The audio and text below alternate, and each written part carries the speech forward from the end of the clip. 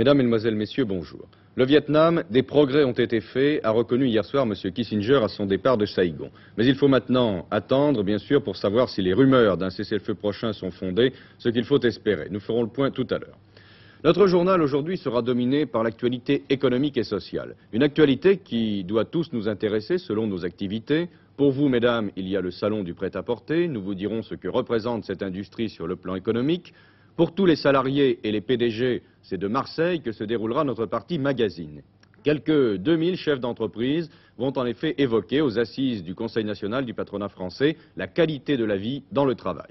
Enfin, Michel Tardieu, c'est cet après-midi que s'ouvre au Palais Bourbon la discussion budgétaire. C'est là un problème qui intéresse tous les Français. Est-ce qu'on s'attend au Palais Bourbon à des débats difficiles sur ce sujet? Non, la plupart des observateurs pensent que M. Valéry Giscard d'Estaing n'aura pas besoin de forcer son talent pour faire adopter son budget. Et pourtant, il y a de nombreux paradoxes qui ont été relevés dans ce budget. Le premier sont les rapports du budget avec l'inflation. Le ministre des Finances présente un budget en strict équilibre parce qu'il ne veut pas que les dépenses publiques jouent un rôle inflationniste l'année prochaine. M. Valéry Giscard d'Estaing sait bien que dans le tableau qu'il brosse de son action depuis quatre ans, les prix sont la tâche d'ombre. Et pourtant, le ministère des Finances compte précisément sur la hausse des prix en 73 pour augmenter les recettes de l'État et lui permettre d'avoir précisément son budget en équilibre. Deuxième paradoxe, précisément, on croyait que le budget serait probablement un budget électoral puisque aussi bien le gouvernement choisissait, choisissait l'expansion. Il n'en est rien, le gouvernement n'a pas cédé sur beaucoup de points et il n'a pas hésité à faire des arbitrages impopulaires en faveur du budget des armées par exemple. Troisième paradoxe, les dépenses d'équipement collectif n'augmentent pas plus que le reste du budget et pourtant il y a beaucoup de retard dans ce domaine.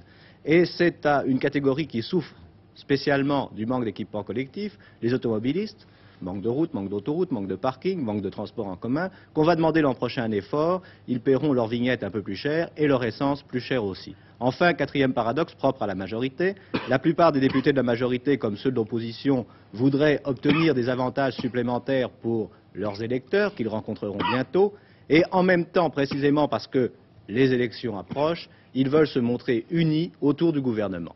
De toute façon, je pense que les choses se passeront plutôt bien pour le ministre des Finances. Bien sûr. Veuillez m'excuser.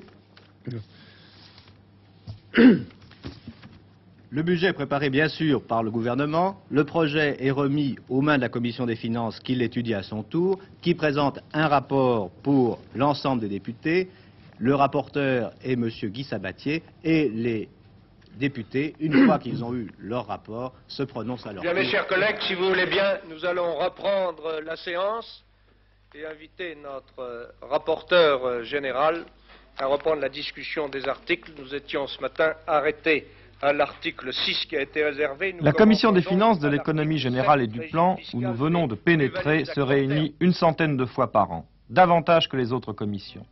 Mais d'où viennent ces membres, les commissaires aux finances? Tous députés, ils sont désignés par chaque groupe parlementaire de l'Assemblée nationale à la proportionnelle. Leur nombre ne peut pas excéder 60. Leur tâche essentielle, l'examen critique et la mise en forme du budget avant son vote par l'ensemble des députés. La complexité de cette tâche conduit à une organisation très particulière. C'est la seule commission en effet à avoir, outre un président, un homme orchestre, le rapporteur général le rôle du rapporteur général est d'analyser tous les textes économiques et financiers et les textes du plan. Son rôle donc est d'abord de les analyser, euh, de les expliquer ensuite à la commission des finances, de les apprécier, de les commenter et bien entendu éventuellement de les critiquer au sein du débat devant la commission des finances, le rapporteur général a donné son opinion sur ces textes, a incité euh, ses collègues à voter ou à ne pas voter, à amender ou à ne pas amender ces textes. Et puis enfin, le rôle du rapporteur général est de suggérer au gouvernement des solutions sur les plans économiques et financiers. Si le budget de la nation forme un tout, il est composé de différentes parties, affaires étrangères, finances, PTT, agriculture et bien d'autres. Et chacune de ces parties fait l'objet d'un examen particulier confié à un ou plusieurs commissaires appelés rapporteurs spéciaux. Sous l'autorité du rapporteur général, les rapporteurs spéciaux vont donc préparer, critiquer, modifier éventuellement ces différents budgets. Pour cela, ils peuvent entendre toute personne susceptible de leur apporter des informations. Une fois adopté par la commission des finances, l'ensemble des textes formant le budget est examiné puis voté par tous les députés de l'Assemblée nationale. La commission des finances jouit d'un grand prestige. On dit même qu'elle constitue une pépinière de ministres. Au dernier remaniement ministériel, trois nouveaux ministres, messieurs Charbonnel, Bonnet et Germain, sortaient de cette commission. Pour conclure ce rapide tour d'horizon, écoutons le nouveau président de la commission, monsieur Maurice Papon. En dehors de la session budgétaire, la Commission des finances exerce le contrôle euh, des dépenses publiques, le contrôle de l'exécution du budget, et elle ne cesse donc pas euh, son activité tout le long de l'année. Enfin, elle euh, s'efforce de connaître et de bien connaître les problèmes économiques et financiers euh, de manière à situer le développement de la France dans un contexte international et d'être au fait de tous euh, les phénomènes qui peuvent ralentir ou au contraire accroître l'expansion et par conséquent euh, le niveau de vie des Français. Rien n'est encore définitivement réglé, mais les rumeurs de cessez-le-feu semblent sérieuses. Bien sûr, je veux parler du Vietnam. En tout cas, c'est ce qu'il faut espérer. Il y a un signe important. Depuis hier après-midi, les B-52 américains n'auraient effectué aucun bombardement au Nord-Vietnam.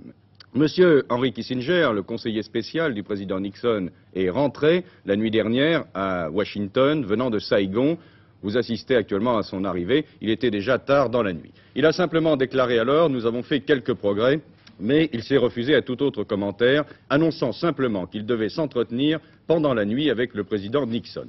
Mais ce qui est important maintenant, évidemment, ce sont les décisions que prendra le gouvernement sud-vietnamien. À Saigon, le Sénat est réuni en séance plénière depuis ce matin pour discuter de la situation du pays. Une nouvelle à l'instant, l'aviation israélienne a bombardé ce matin la région de Meisaloun, à une vingtaine de kilomètres de Dallas. C'est une information que l'on apprend de Beyrouth. Nous n'en savons pas plus pour l'instant. Le suspense de Sofia a pris fin. Après avoir été retenu pendant 38 heures à l'intérieur du Boeing 707 d'une compagnie turque qui avait été détournée hier matin, passagers et membres de l'équipage ont été libérés. Finalement, les pirates de l'air se sont rendus contre la promesse de l'asile politique en Bulgarie. Sofia, hier soir, il est 22h30, chacun se prépare à veiller pour la deuxième nuit consécutive. Quand soudain, les pirates de l'air, quatre étudiants du Front de libération turc, sortent de l'avion et annoncent qu'ils se rendent en échange d'une promesse d'asile politique. Pour les 62 passagers retenus en otage depuis 38 heures, c'est la fin d'un long cauchemar. Après un bref repos, ils ont regagné la Turquie ce matin. Seul le pilote de l'appareil et un passager, blessés au cours du détournement dimanche matin, resteront quelques jours à l'hôpital de Sofia. Pour l'étranger, il faut noter aussi une déclaration du nouveau Premier ministre norvégien, M. Kornwald. Il a annoncé devant le Parlement que son gouvernement demanderait l'ouverture de négociations avec le marché commun pour un traité de libre-échange, c'est-à-dire qu'ayant refusé l'adhésion à la communauté européenne, la Norvège se rendrait maintenant du côté des associés, comme par exemple l'Islande, le Portugal, l'Autriche, la Suède, la Finlande ou la Suisse. À la porte de Versailles se tient actuellement le salon du prêt-à-porter qui, en jugé par l'affluence des visiteurs, rencontre un grand succès. Il faut dire que la concurrence est de plus en plus vive dans cette industrie qui, en moins de 20 ans, a supplanté la confection. Jacqueline Alexandre va maintenant nous dire ce que représente, sur le plan économique, le prêt-à-porter.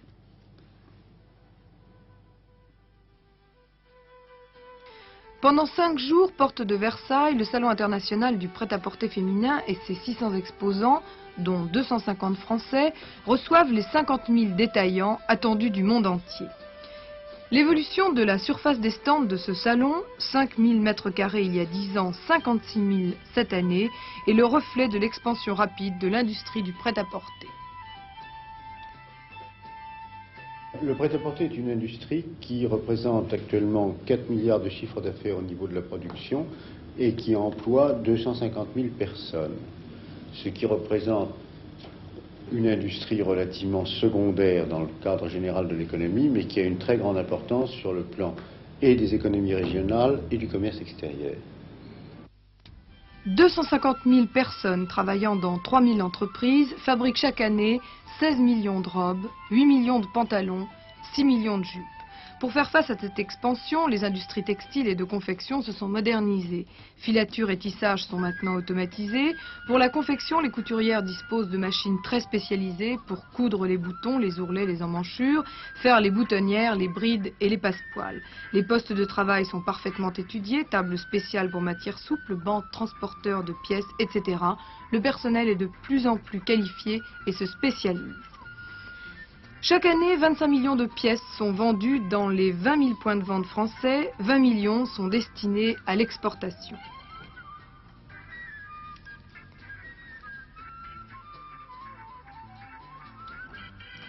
Ainsi, la France est maintenant le premier pays exportateur européen pour le prêt-à-porter féminin et le troisième sur le plan mondial après le Japon et l'Angleterre.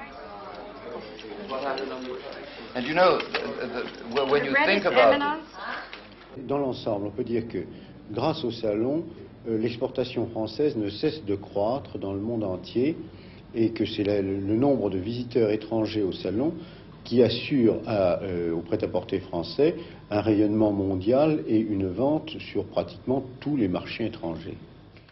Attention, ce salon qui est ouvert jusqu'au 26 octobre est essentiellement réservé aux professionnels. Le 11 novembre dernier, un magnifique sous-marin français d'une valeur de plus de 50 millions de francs coulait dans l'arsenal de l'Orient. Ce sous-marin s'appelle la Sirène et hier, on a pu lui faire regagner la surface. Un reportage de Rennes sur ce renflouement spectaculaire. Le 11 octobre, vous voulez dire. Il aura fallu moins de 12 jours aux spécialistes de l'arsenal et au personnel militaire de la base de Kéroman pour renflouer le sous-marin Sirène. Vous en souvenez, c'était au cours d'une vérification d'ouverture de l'une des portes du lance-torpille que l'accident avait eu lieu. À la suite d'une fausse manœuvre, cette porte était restée ouverte et l'eau avait complètement envahi l'avant du sirène, le faisant toucher le fond de l'alvéole. On pense maintenant remorquer le sirène sur la rivière Le Terre, à l'est de la base, afin de procéder aux travaux de réparation. En effet, si maintenant le sous-marin est sauvé, de longs mois seront nécessaires pour réarmer le sirène.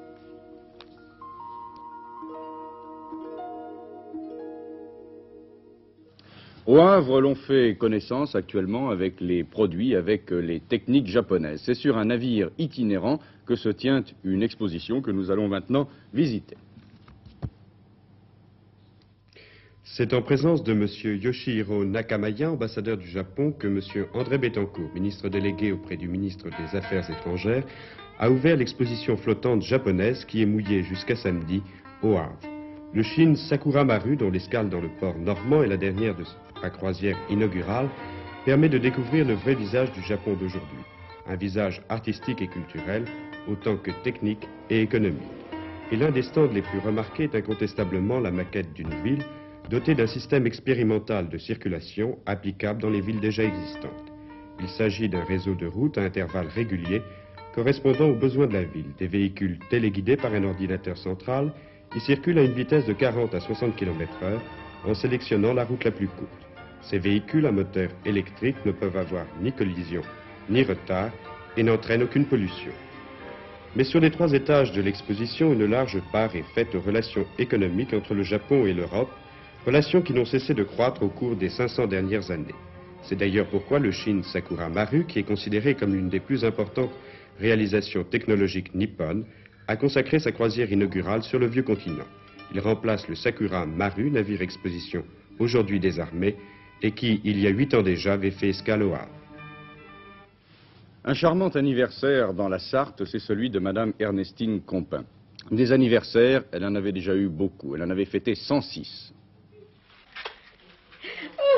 Bon anniversaire, madame.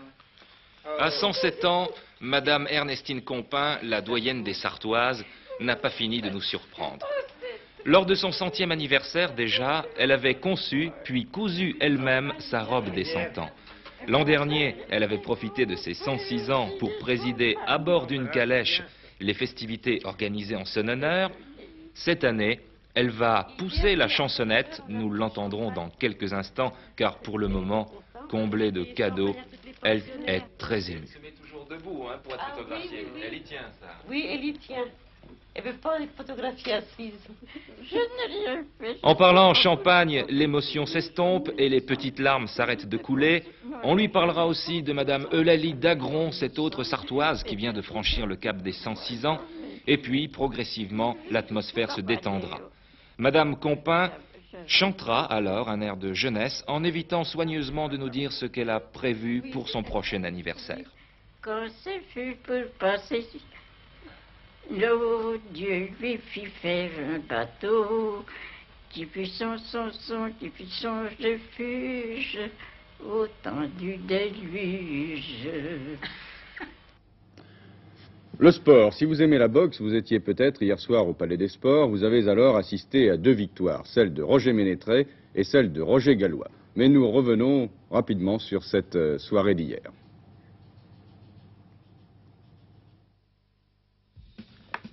Avant de parvenir à cette dixième et dernière reprise, devant 4500 spectateurs, Roger Ménétré, en culotte blanche, avait dominé son adversaire, l'Américain Danny McCalloon, blessé à l'arcade sourcilière gauche dès le troisième rang. Les deux pugilistes avaient apporté la confirmation des suppositions émises à leur encontre. Le professeur d'éducation physique McCalloon est un bon professionnel américain, robuste, peu varié, efficace dans la boxe de près et remis en bien. Mais aucune action d'envergure. Quant au champion d'Europe, il était plus précis à mi-distance, touchant surtout son adversaire par des directs du gauche répétés. Une surprise toutefois. Le Français, qui avait été plus rapide au départ qu'à son habitude, devait faiblir au milieu du combat. Dans ces toutes dernières secondes, la physionomie de la rencontre a changé. Les deux hommes tentent l'épreuve de force, l'un pour conserver son avantage, l'autre Macaloun, qui ne peut espérer qu'un chaos pour l'emporter. Malgré la fatigue, on peut remarquer que les coups gardent leur précision. Il est vrai aussi que l'on se garde moins bien.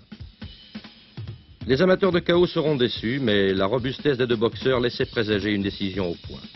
Cette nette victoire de Roger Ménétré a tout de même laissé apparaître une forme précaire. Quelques mots sur le temps. On s'attend à une arrivée d'air chaud. Pour demain, il y aura des brumes et des brouillards le matin sur la majeure partie du pays, mais au sud de la Loire, le temps sera assez beau, localement bien ensoleillé. Cela pour vous dire que ces chaud et froid, bien naturellement, ne sont pas très bons pour l'épidémie de grippe qui sévit actuellement. Les patrons veulent humaniser le travail dans les entreprises. Voilà une bonne nouvelle, elle est sérieuse puisqu'ils sont 2000 penchés sur ce problème aujourd'hui et demain à Marseille. Ce sont les assises du Conseil national du patronat français. Le sujet est suffisamment important pour que nous lui accordions la seconde partie de notre journal. Nous rejoignons donc tout de suite en direct de Marseille Alain Veller et Patrice Duhamel. À vous Marseille.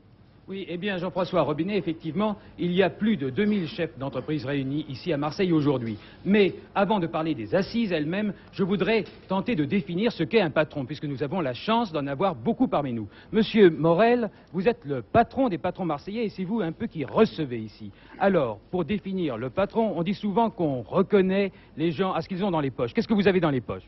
Moi, j'ai mon carnet, j'ai un crayon, mais le plus important pour un patron, c'est sa tête et son cœur. Mais vous avez aussi un porte-document. Est-ce que je peux vous demander ce que vous avez dans votre porte-document? Dans le porte-document, on a les dossiers que l'on étudie dans la journée. Alors aujourd'hui, notre dossier, ce sont les assises des entreprises. Et voilà ce que j'ai dans mon porte-document. Bon, avant de reparler toujours des assises, je vais vous poser euh, deux ou trois très courtes questions. Je, vous, je voudrais des réponses très courtes. Est-ce que vous pouvez nous dire quel est l'âge moyen du patron? 55 ans, mais ils sont tous très jeunes parce qu'ils étudient l'avenir de leur entreprise. Bien. Euh, D'où viennent-ils les patrons qui sont ici?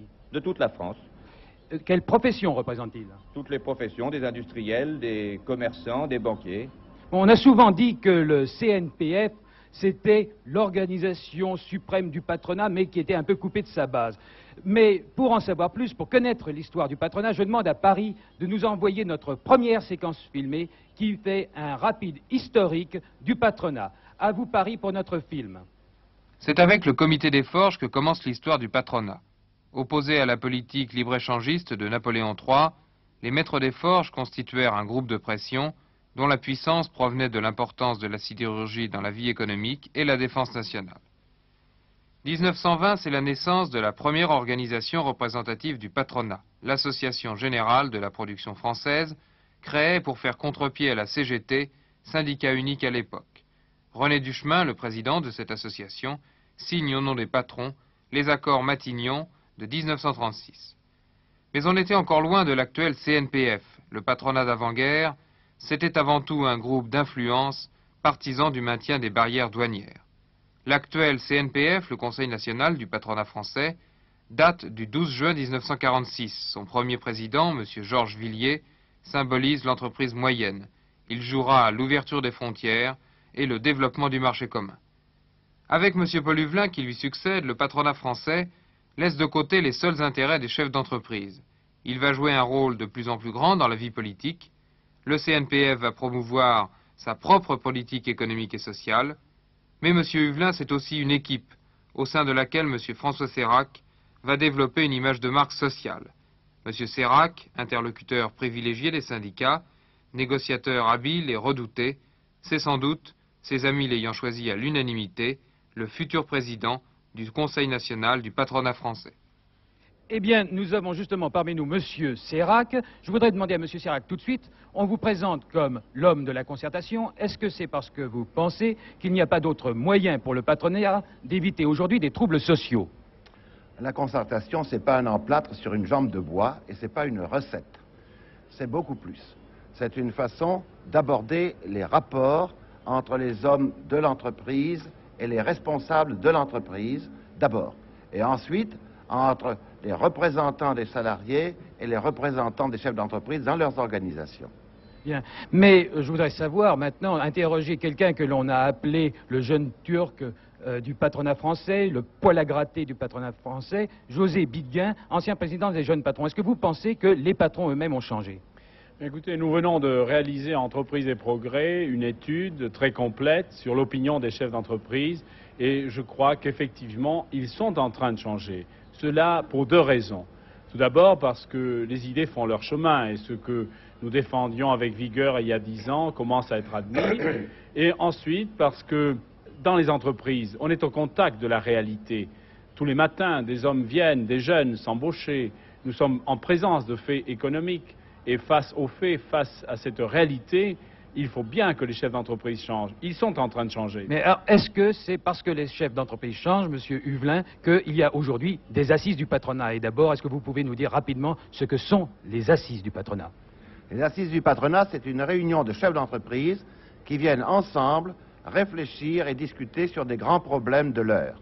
Ça a été en 70 la formation permanente, c'est aujourd'hui le problème de l'homme dans l'entreprise, le problème de la croissance de la qualité de la vie le problème du financement du développement. Bien. Eh bien, maintenant, actuellement, il y a justement une commission de réunie. Nous allons nous rendre tout de suite dans cette commission qui traite des problèmes de l'environnement et de la qualité de la vie. Cette à cette commission, nous retrouverons Patrice Duhamel.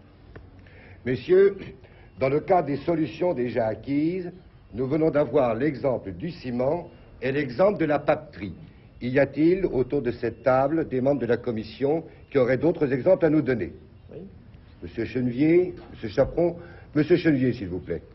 Je vais vous parler en quelques mots de l'industrie pétrolière, où depuis euh, plus de dix ans, des progrès considérables ont été réalisés en matière de lutte contre la pollution. Par exemple, plus de 80% des navires pétroliers euh, sont maintenant équipés de dispositifs qui évitent tout rejet à la mer. Les raffineries modernes sont sans odeur, rejettent de l'eau parfaitement épurée et, et désulfurent presque complètement leur fumée. Et le mazout utilisé pour le chauffage domestique contient aujourd'hui quatre fois moins de soufre qu'il y a dix ans, ce qui fait que la euh, pollution de l'atmosphère des villes s'est trouvée diminuée de plus de moitié. Il n'en reste pas moins que ces efforts euh, ne sont pas la totalité de ce que l'on peut faire et qu'il y a encore beaucoup de problèmes à résoudre. Deux en particulier, l'adaptation des usines anciennes aux méthodes modernes, qui est très onéreuse, et euh, la désulfuration du fuel industriel, pour lesquels des procédés existent mais sont fort onéreux. Et une grande recherche est à l'heure actuelle en cours pour essayer de résoudre ce problème très important. J'ai notre domaine tout à fait différent, c'est celui du bruit, du bruit des roulements en particulier. Les progrès de l'industrie du roulement ont été tels durant cette dernière période que le niveau de bruyance des roulements a pu être réduit de près de 50%, passant de 90-95 décibels à 60-65 décibels. Enfin, un autre exemple qui montre le caractère très général et très global de la pollution concerne le traitement des eaux. À Annecy, nous avons euh, sauvegardé le lac grâce à une action concertée qui a euh, rassembler tout le monde, industrie, agriculture, collectivités locales, individus, tourisme, etc. Bien, nous sommes Et- en effet ici dans une des 50 commissions qui sont réunies depuis ce matin au Palais des Congrès à Marseille, une commission qui comprend environ 25 chefs d'entreprise et qui est présidée par M. Louis Deveau. M. Louis Deveau, membre du conseil exécutif du patronat. M. Louis Deveau, vous êtes donc réunis depuis 8h30 ce matin. Quels résultats concrets avez-vous obtenus Eh bien, euh, comme vous le disiez tout de suite, c'est une des nombreuses commissions qui travaillent et je puis dire, pour avoir euh, passé par toutes les commissions euh, qui travaillent dans les environs de- de- du Palais des Congrès, partout j'ai trouvé de l'enthousiasme, de la foi et que euh, j'espère beaucoup que les conclusions dégagées seront très positives. En ce qui concerne euh, celle-ci, elle s'est attachée spécialement à d'abord définir les causes de la pollution et ensuite elle a examiné les solutions et elle a dégagé jusqu'à présent un certain nombre de conclusions, mais elle n'a pas fini ses travaux, elle ne les finira que ce soir.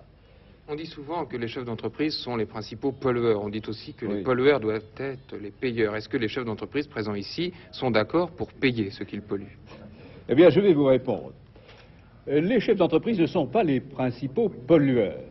Justement, dans la recherche de la commission qui s'est déroulée ce matin, on a trouvé trois causes de pollution fondamentale. Il y a d'abord les collectivités, les villes, qui sont des pollueurs extrêmement importants, tant par les égouts que par les ordures ménagères solides. Il y a bien sûr l'ensemble des activités professionnelles, c'est-à-dire l'agriculture, l'industrie et les services. Et nous nous situons, nous, euh, parmi ces activités professionnelles. Duhamel. Et puis enfin, Duhamel, oui, euh, je crois qu'il faut que nous abrégions maintenant parce que nous avons encore plusieurs thèmes à aborder. En effet, ici, on parle également de l'information au sein de l'entreprise et ça, c'est une nouveauté. À ce propos, je demande à Paris de nous envoyer notre deuxième film qui qui s'adresse aux chefs d'entreprise et qui montre comment un patron doit s'adresser à ses employés. Un monsieur Dupont qui a une idée se groupe avec un ou plusieurs autres messieurs Dupont pour faire quelque chose de plus efficace. C'est ce qu'on appelle communément un groupe humain ou une entreprise. Comme tous les êtres vivants, l'entreprise se compose d'organes divers, de pattes pour la faire marcher et d'une tête pour coordonner. Les ordres, les contre-ordres, les comptes rendus, les renseignements, les bonnes nouvelles, en un mot, les informations, circulent dans tout cela d'une cellule du pont à une autre. Pour que l'information soit communicante, il faut qu'il y ait quelqu'un qui écoute. Pour que quelqu'un écoute, il faut que cela l'intéresse. Et pour savoir ce qui l'intéresse, il faut le laisser parler.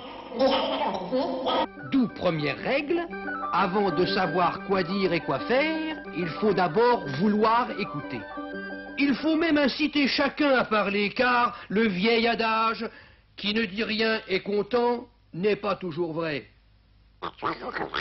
Alors, M. Dupont fera un effort pour écouter, ou, si c'est trop compliqué d'écouter tout le monde, il mettra à contribution tous les Dupont relais de son organisation. Et M. Dupont s'apercevra que les besoins en information de chacun sont complexes et divers, mais qu'au minimum, Chacun veut être au courant des objectifs et de la politique de l'entreprise, connaître les raisons des décisions qui le concernent. Chacun veut savoir d'abord pourquoi il travaille et où il va. Monsieur Dupont a compris tout cela. Alors le reste n'est plus qu'une question d'imagination, de savoir-faire et de savoir-faire faire. Les quelques règles fondamentales qu'il faut suivre relèvent plus du bon sens que de la technique. L'information doit être compréhensible par ceux auxquels elle s'adresse. Cela, nous l'avons déjà expliqué. Elle doit se faire dans toutes les directions, comme nous l'avons déjà vu aussi. Elle doit être rapide pour ne pas se laisser devancer par l'information extérieure ou grignotée par les rumeurs. L'information aussi doit être sincère. Sans sincérité, l'information dégénère en quelque chose qui a un vilain nom, elle n'est plus crédible et les choses sont pires qu'avant. Tout de suite, Paris, je vous demande de nous diffuser notre troisième séquence filmée. Elle a trait en effet aux conditions de travail. Or, c'est le grand thème, celui qui préoccupe le plus les chefs d'entreprise comme les salariés. À ce propos, je dois signaler qu'ici, on a demandé aux chefs d'entreprise de s'inscrire dans les commissions en fonction de leur pôle d'intérêt. Eh bien, les commissions ayant trait aux problèmes sociaux sont celles qui ont eu le plus de participants.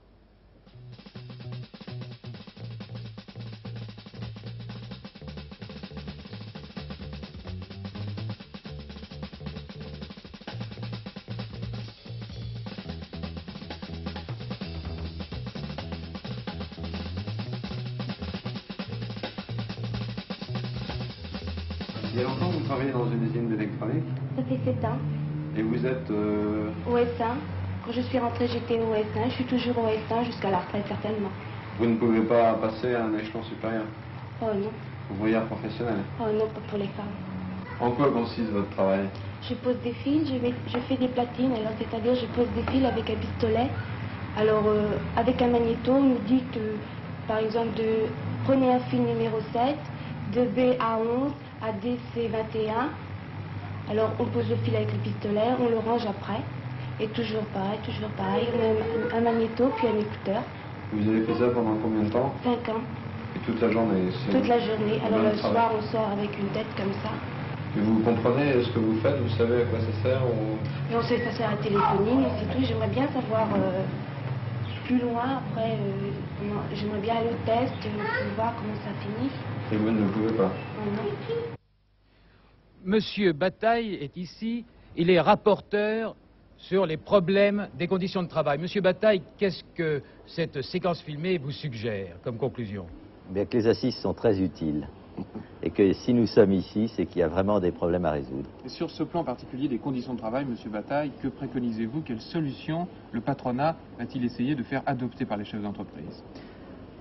Vous savez, les solutions sont extrêmement complexes, extrêmement diverses. Euh, les situations, celle qui a été montrée est une situation, mais il y en a des millions en France. Et je crois que nous devons nous garder de généraliser toute situation. Et qu'il est indispensable euh, de les analyser une par une et de trouver des solutions qui soient vraiment conformes aux désirs des intéressés et qui soient conformes à un épanouissement des personnes et à un développement de l'économie en développant les hommes. Oui, alors je voudrais demander à ce propos à Monsieur Sérac si euh, les assises vont apporter des solutions concrètes à ces problèmes. Les assises ont pour objectif d'abord de débroussailler le terrain, d'analyser les choses et ensuite de nous permettre de faire un certain nombre de choix. Car il y a assez longtemps qu'on parle de ces problèmes, qu'on analyse, qu'on discute, il faut maintenant agir. Et ce que nous attendons des assises, c'est la plateforme de départ pour une action concrète. Plateforme de départ, Monsieur Debargue, qui est à votre gauche, euh, est un homme qui conteste souvent les initiatives du patronat. Alors vous approuvez celle-ci Nous ne contestons pas systématiquement, mais étant jeunes dirigeants d'entreprise, nous voyons l'avenir. Et un film comme celui que nous venons de regarder est vraiment très marquant. Nous y voyons euh, le manque d'espoir, l'ennui, le manque de débouchés du travailleur. Et ça, je pense que nous devons, tout en respectant les contraintes économiques qui sont les nôtres, faire l'impossible pour que très rapidement le travail devienne pour l'homme quelque chose qui soit enrichissant, valorisant, et non pas qu'il ne fasse pas de l'homme une machine ou un accessoire de la machine. Monsieur Sérac, on a souvent dit que le patronat parlait des conditions de travail quand les conditions de travail devenaient la préoccupation principale des syndicats. On a dit aussi que le patronat se préoccupait de la qualité de la vie quand l'environnement et la pollution devenaient des thèmes à la mode. Est-ce que, plus généralement, on ne peut pas dire que le CNPF, le patronat, prend en quelque sorte le train en marche? Je rappellerai simplement que c'est le patronat qui, le premier, il y a bientôt deux ans, a abordé l'étude de ce qu'on a appelé le problème des OS et qui a été la première recherche systématique dans ce domaine. Depuis, d'autres ont suivi, et tant mieux. Et tant mieux car on a enrichi la documentation dont nous disposions et cette documentation, nous l'avons utilisée à fond Mais pour Monsieur la préparation Sérac, des assises. Monsieur Sérac, vous dites que vous avez étudié le problème. Est-ce que vous avez commencé à le résoudre? C'est ça peut-être qui importe le plus. Je vous disais tout à l'heure que nous avions maintenant une masse de documentation, d'expérience et de réalisation, et que dans cet immense domaine, il faut choisir. Nous ne pouvons pas tout aborder à la fois, nous ne pouvons pas, je dirais, nous lancer dans des euh, expériences hâtives. Le problème des assises, c'est de sélectionner un certain nombre de directions et de là, partir pour des réalisations concrètes. Est-ce que, par exemple, il peut ressortir de, cette assise, de ces assises que les patrons vont décider de supprimer dans 3, 4 ou 10 ans le travail à la chaîne dont on parle beaucoup actuellement? C'est un des problèmes qui a fait l'objet des réflexions d'aujourd'hui et de demain. Euh, je ne puis pas vous dire que ce sera le seul thème retenu, mais vous le savez, c'est un de ceux qui nous préoccupe le plus. Monsieur Bataille, quel est le thème que vous voulez faire retenir? Le thème que je veux faire retenir, c'est que je crois que les conditions sont très changeantes et qu'on a la chance d'être dans un monde économique euh, dans lequel les progrès techniques sont considérables, dans lequel on, peut maintenant, plus que par le passé, prendre en considération les hommes, que même les sciences humaines ont progressé, et que, euh, je dirais même à la limite, pour que les entreprises fonctionnent bien, il est essentiel que les hommes s'y trouvent bien. C'est tout un ensemble donc extrêmement complexe que nous devons mettre en œuvre. La dernière question à M. Sirac. On vous présente souvent comme le futur président du CNPF. Est-ce que c'est ça votre devise maintenant Que les hommes se sentent bien dans les entreprises? C'est ma devise d'aujourd'hui, mais ce n'est pas la mienne seule. Le rassemblement d'aujourd'hui prouve que c'est la devise d'un nombre croissant de patrons et déjà extrêmement important. Ben, souhaitons que ces propos soient, euh, nous amènent des promesses et des jours meilleurs. Merci beaucoup. Merci Alain Veller et Patrice Duhamel. Eh bien, il est l'heure maintenant de nous rendre à la bourse pour voir comment elle se porte à quelques heures du débat budgétaire à l'Assemblée nationale. Gérard Vidalange.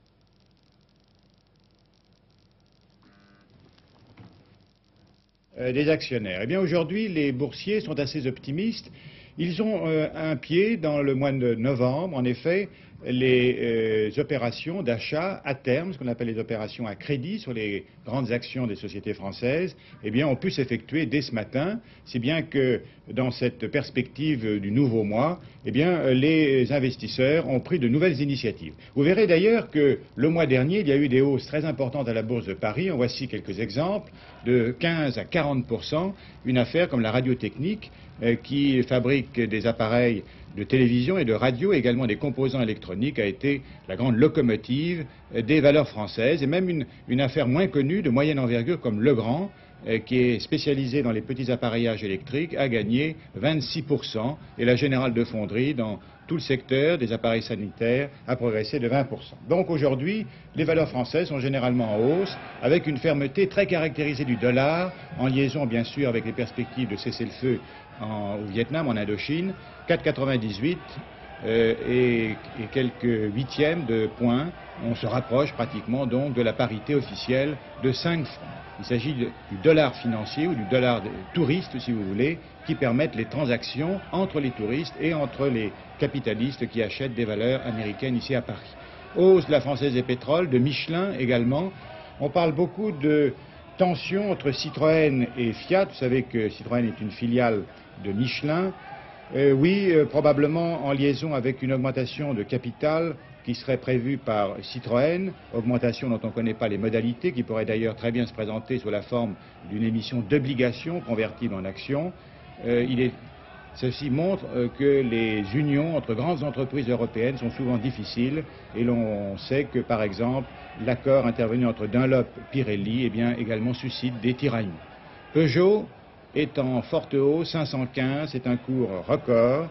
Dans le domaine des pneumatiques, eh bien, Michelin semble tout de même rencontrer des difficultés dans son grand projet européen de constituer une fédération euh, des producteurs européens autour de Kléber-Colombe. En effet, Bayer essaye euh, de faire cette fédération à son profit, donc une étape qui sera plus difficile pour Michelin. Ici, c'est Carrefour qui est en forte hausse, ainsi que la radiotechnique. Vous voyez qu'aujourd'hui, ce titre a encore progressé à 660 contre 634. Beaucoup de sociétés ont besoin d'argent pour leurs investissements, les emprunts se succèdent.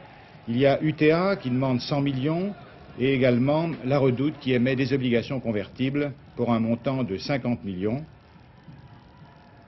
Voici euh, pour les valeurs étrangères des variations de cours les valeurs américaines sont encore bien orientées ce matin, comme Alcan Aluminium. Sur le marché de l'or, on a baissé un petit peu. Le lingot est revenu à 10 440 contre 10 455. Et je voudrais maintenant vous présenter rapidement deux tableaux euh, qui montrent les performances des SICAV, les sociétés d'investissement à capital variable qui sont présentes, qui sont gérées par les banques. Vous voyez qu'il y a tout de même des gains substantiels depuis le début de l'année. Le livret portefeuille est géré par la Caisse des dépôts, Intercroissance par la Société Générale, Univaleur, Banque de l'Union Parisienne, Sliva France, Crédit Lyonnais et Unigestion, Banque de Suez, des gains donc de 27 à près de 30 Et ici, ce sont les SICAV qui ont dans leur portefeuille surtout des obligations. Vous voyez que ces sociétés peuvent tout de même réaliser des plus-values appréciables, plus de 13% pour Sogepan, la Société Générale, donc ils se retrouvent encore en tête du palmarès, le, Crédit Lyonnais avec Steve Arante et France Obligations, Caisse des dépôts, c'est-à-dire les caisses d'épargne. C'était la Bourse de Paris. À vous, Robinet. Vous avez été privé d'images de, de son plutôt pendant quelques secondes au début de ce direct avec la Bourse. Je vous prie de bien vouloir nous en excuser et je vous souhaite une bonne après-midi. Au revoir.